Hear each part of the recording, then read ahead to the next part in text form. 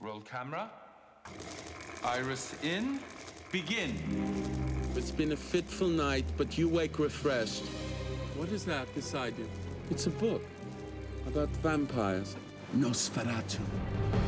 Director F.W. Murnau had an obsession to create the world's most realistic vampire movie. Meet Count Orlok.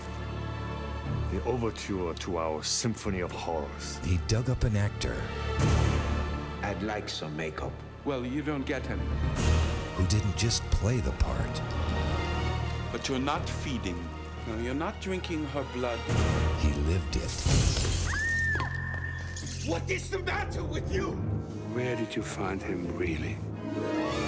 From Lionsgate Films and producer Nicolas Cage comes the haunting tale of the uncompromising, You, you will have no close-ups. Now. the unimaginable, Blood! Blood!